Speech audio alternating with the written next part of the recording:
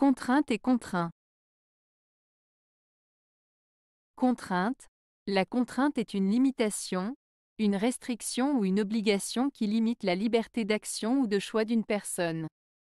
Elle peut être imposée par des règles, des lois, des normes ou des circonstances. Exemple, les étudiants sont soumis à des contraintes horaires, ce qui signifie qu'ils doivent respecter un emploi du temps fixe pour leurs cours.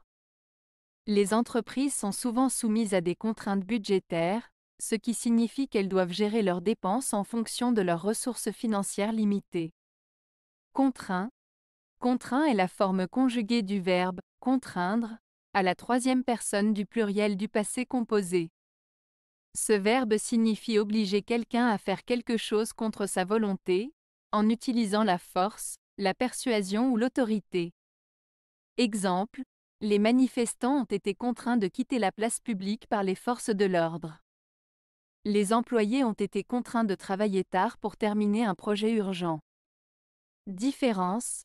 La différence entre contrainte et contraint réside dans le fait que contrainte est un nom qui décrit une limitation ou une restriction, tandis que contraint est la forme conjuguée du verbe contraindre, qui décrit l'action d'obliger quelqu'un à faire quelque chose contre sa volonté.